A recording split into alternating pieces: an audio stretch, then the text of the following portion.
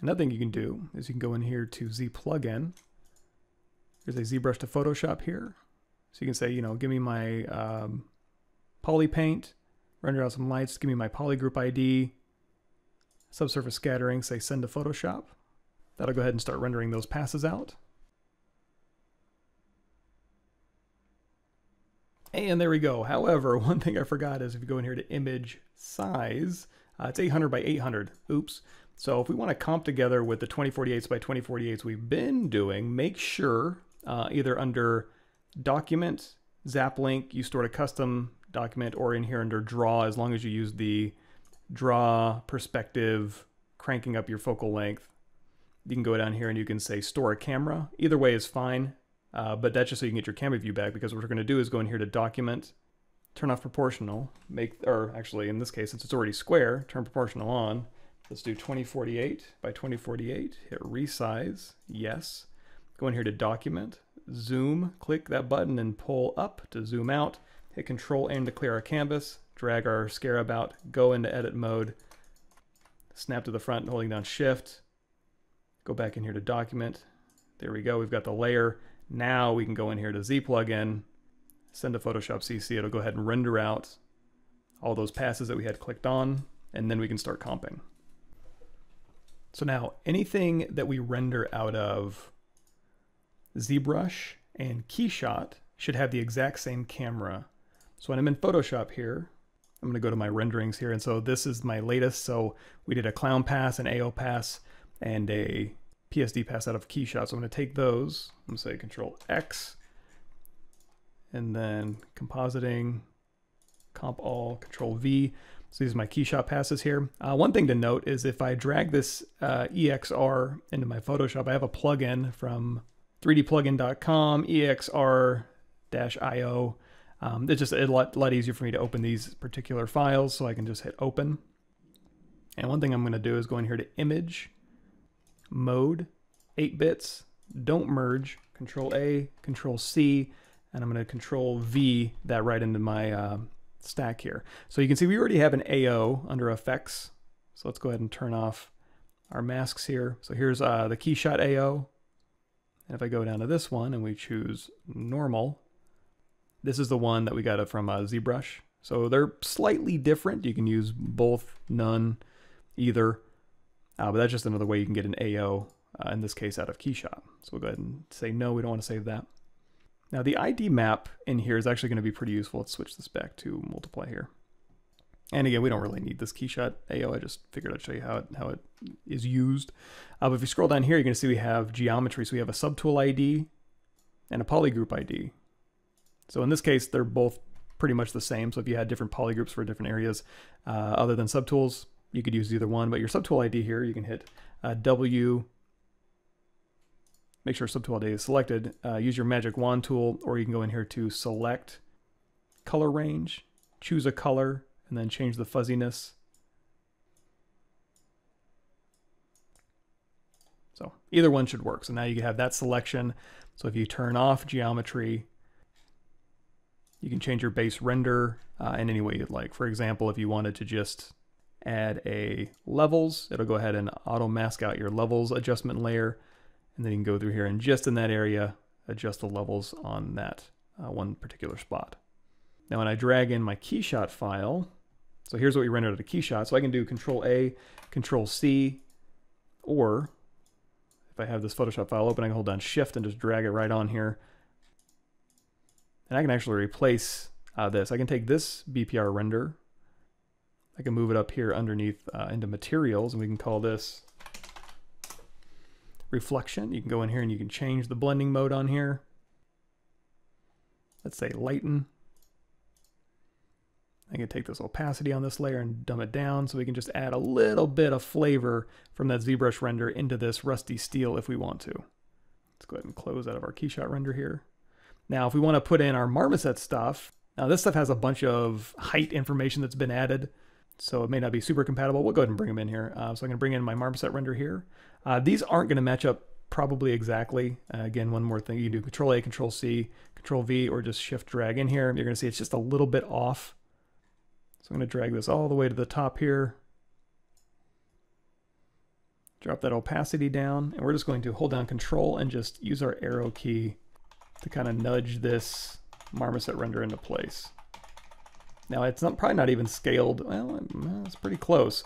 Uh, it may not even be scaled the right way. If it isn't, you need to hit um, Control T, and uh, it looks like it's pretty centered. Maybe needs to be just a smidge smaller. So while I'm scaling this, I'm going to hold down Alt to scale from the middle.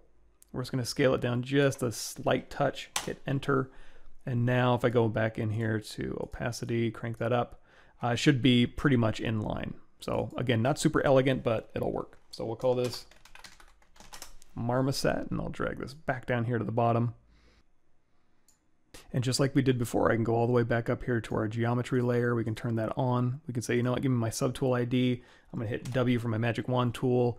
And for all of these end pieces here, and you know what, let's switch that to contiguous. There's some subtool IDs that are gonna be very similar, but if I change it to contiguous, uh, it'll ignore it uh, in other areas that aren't connected. So very quickly I can just grab all these leg pieces here to get my mask and then we can go ahead and turn off geometry.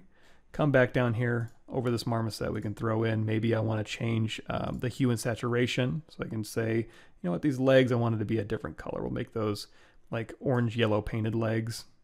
No problem. For our Iray render, we can go ahead and drag that in. Exact same thing as the marmoset render. Um, this one has transparency built in because we had transparency checked. So I'm going to hold down shift, go ahead and say yes. And this one lines up pretty close. I'm going to throw it again up here to the top just to double check. Drop that opacity down. On this one, let's switch that blending mode to difference. Hold down control. Again, we'll kind of try and center this left and right up and down. It looks like it's a little bit small. So I'm going to hit Control T. Again, hold down Alt and make it so that those match up as close as we can. Again, not elegant. I don't feel good about doing this, but I haven't figured out a better way. If you found a better way, just email me and we'll go from there. So here we go. This is our substance. Actually, we call this Iray because you can actually do another substance render just from the viewport.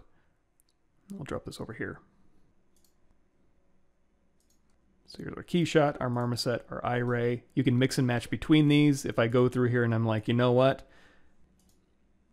I love the head and the legs for my Keyshot render. I can just move this Keyshot render up to the top. Again, go back to my geometry here. Say, give me the head. Let's hit W. Select that. I like the head, maybe the antennas as well. And all these legs, I like uh, the Keyshot version better. So I'm going to go ahead and select all these. Can turn geometry off.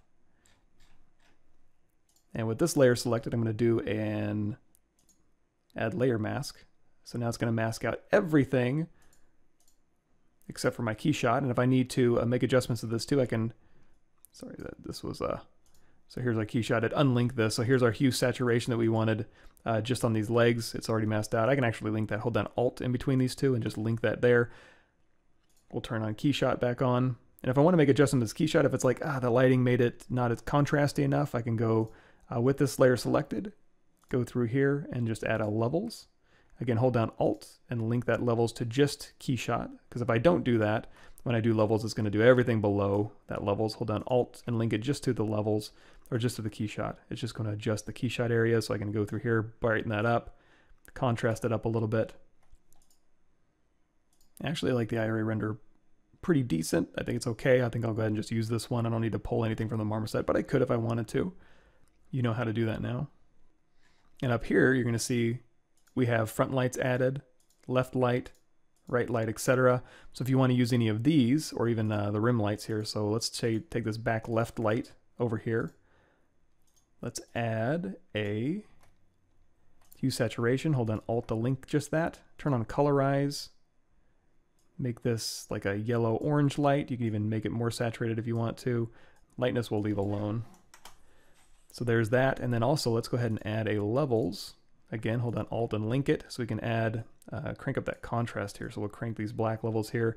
So we're just going to kind of dumb down the effect of that light, or at least make it a little bit more isolated on the left there. So there's all the lights here. You've got uh, shadows you can bring in. You got subsurface scattering mask you can uh, add. You got your masks here that are already plugged in. So that's just a really easy way to take multiple comps from different programs, uh, put them all in here. And again, if you want to go back to KeyShot, you want to go back to ZBrush, grab another render. You've already saved the camera view, so anything you change, any materials you pull in